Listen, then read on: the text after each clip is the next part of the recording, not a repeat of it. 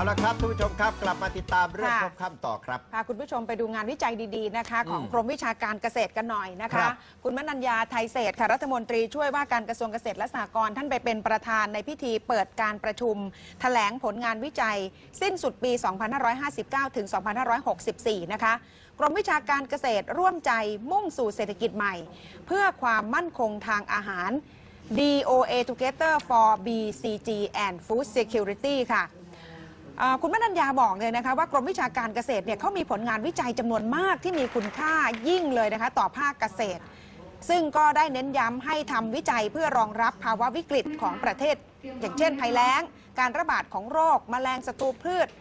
รวมไปถึงมาตรการกีดกันทางการค้าต่าง ๆ ที่จะกระทบต่อการส่งออกสินค้าเกษตรของไทยด้วยนะคะ ก็เชื่อมั่นว่าผลงานที่โดดเด่นของกรมวิชาการเกษตรเนี่ยนะคะ จะทำให้ได้รับการสนับสนุนงบประมาณ เพื่อทำวิจัยอย่างต่อเนื่อง พร้อมกำชับให้เร่งขับเคลื่อนวิจัยไปสู่ภาคการเกษตรอย่างกว้างขวาง ซึ่งจากนี้กรมวิชาการเกษตรจะทำงานในมิติใหม่ค่ะ ด้วยการทำโครงการกรมวิชาการเกษตรเคลื่อนที่นำความรู้นำเทคโนโลยีไปถ่ายทอดให้เกษตรกรทุกท้องที่ด้วยนะคะ ฟังท่านรัฐมนตรีค่ะ ซึ่งกรมวิชาการเกษตรเคลื่อนที่เนี่ยเมื่อก่อนไม่มี แต่ตอนนี้เราจะมีกรมวิชาการเกษตรเคลื่อนที่ โดยการที่ว่าที่ใดก็แล้วแต่ถ้ามีการประชุมสหกรณ์หรือว่ามีการประชุมอะไรที่มากมายเกี่ยวกับเกษตรกรกรมวิชาการเกษตรเคลื่อนที่นะก็จะสามารถจะให้ความรู้ที่นั่นได้เลย อันนี้คือเป็นสิ่งใหม่ที่กรมวิชาการเกษตรจะทำนะคะแล้วก็สิ่งที่สองก็คือปักหลักในตำบล แล้วก็ในหมู่บ้านนั้นๆ ให้ชาวบ้านรู้ว่ากรมวิชาการเกษตรจะไปให้ความรู้ให้กรมวิชาการเกษตร ต่อไปนี้ก็คือเป็นนินิมิตใหม่เลยนะก็คือจะออกไปพบพี่น้องประชาชน ไม่ใช่อยู่เฉพาะในห้องทดลองอย่างเดียวค่ะ ขณะที่ท่านระพีพัฒน์จันทรศรีวงศ์อธิบดีกรมวิชาการเกษตร บอกว่าผลงานวิจัยที่ประสบความสำเร็จและก็ที่ที่สิ้นสุดไปในช่วง 5 ปีที่ผ่านมาเนี่ยนะคะ เป็นส่วนสำคัญที่ส่งเสริมให้เกษตรกรรายย่อย SME รายใหญ่ และก็อุตสาหกรรมการเกษตร สร้างมูลค่าจากพืชสำคัญสำคัญ และผลิตภัณฑ์รวมมากกว่า 1 ล้านล้านบาทนะคะ ผลงานวิจัยและนวัตกรรมของกรมวิชาการเกษตรเนี่ยมีไม่น้อยกว่า 900 เทคโนโลยีค่ะ ได้แก่การปรับปรุงพันธุ์พืช พร้อมทั้งเทคโนโลยีการผลิตพืช อย่างเช่น เครื่องพ่นแบบใช้แรงลม ช่วยสำหรับพ่นป้องกันหนอนกระทู้ข้าวโพดลายจุด เครื่องหยอดเมล็ดพืช และปุ๋ยอัตโนมัติ โรงเรือนอัจฉริยะควบคุมสภาวะอากาศอัตโนมัตินะคะ งานวิจัยเนี่ยยังสร้างความเข้มแข็งให้ชุมชนเกษตรกรรม สร้างรายได้ให้กับเกษตรกรเพิ่มขึ้น 20-50%พัฒนาไปสู่เว็บแอปพลิเคชัน ระบบพยากรณ์ผลผลิตไม้ผลเศรษฐกิจ งานวิจัยรองรับวิกฤตภัยแล้ง และความมั่นคงทางอาหารของประเทศนะคะ ได้แก่การสร้างเครือข่าย ผู้ผลิตเมล็ดพันธุ์ พืชตระกูลถั่ว แก้ปัญหาโรคใบด่างมันสำปะหลัง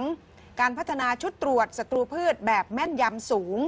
สำหรับงานวิจัยพัฒนาพันธุ์พืชเศรษฐกิจใหม่ก็คือกัญชาค่ะ เป็นกัญชาเพื่อการวิจัยทางการแพทย์นะคะ ซึ่งในด้านการพัฒนาสายพันธุ์ที่มี CBD และ THC สูง และกระท่อมรวมทั้งการวิจัยทางด้านเทคโนโลยีจีโนมิกเพื่อศึกษายีนที่เกี่ยวข้องกับสารสำคัญ จัดตั้งศูนย์บริหารจัดการพืชกัญชากัญชง และกระท่อมแบบเบ็ดเสร็จ แล้วก็มีสายด่วน 1174 ให้กับผู้สนใจไปสอบถามข้อมูลได้ด้วยนะคะ ส่วนในการส่งออกสินค้าพืช 5 เดือนแรกของปี 2565 มียอดส่งออกเพิ่มขึ้นถึง 28.57%รวมทั้งจับมือกับกลุ่มพันธมิตรทั่วโลก เปิดตัวระบบใบรับรองสุขอนามัยพืชอิเล็กทรอนิกส์ e-Phyto นำร่องเปิดใช้งานส่งออกพืช 22 ชนิดไปจีนค่ะ จัดทำมาตร ตรการ GMP Plus ด้วยนะคะ ให้กับโรงคัดแยกบรรจุนำไปปฏิบัติเพื่อป้องกันการปนเปื้อนของเชื้อโควิด -19 ที่จะไปกับตู้สินค้า บรรจุภัณฑ์แล้วก็ผลไม้ อันนี้เนี่ยสร้างความเชื่อมั่นให้กับประเทศจีนนะคะ โดยใน 5 เดือนแรกของปีนี้มีปริมาณส่งออกไปมากกว่า 4 0 0แสนตันค่ะ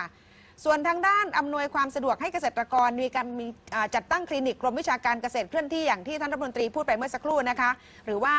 DOA Mobile Clinic บริการต่ออายุใบอนุญาต GAP ใบรับรองแหล่งผลิตพืชอินทรีย์ ให้คำปรึกษาทางด้านการเกษตรแบบเบ็ดเสร็จ หรือที่เรียกว่า one stop service นะคะ ซึ่งเกษตรกรก็สามารถสมัครใหม่หรือไม่ก็ต่ออายุได้เนี่ยนะคะ ซึ่งที่ผ่านมาเนี่ยได้ทำไปแล้วมากกว่า 2,500 รายค่ะอืมนี่เป็นผลงานนะคะ ครับ ในรอบ 5 ปีที่ผ่านมา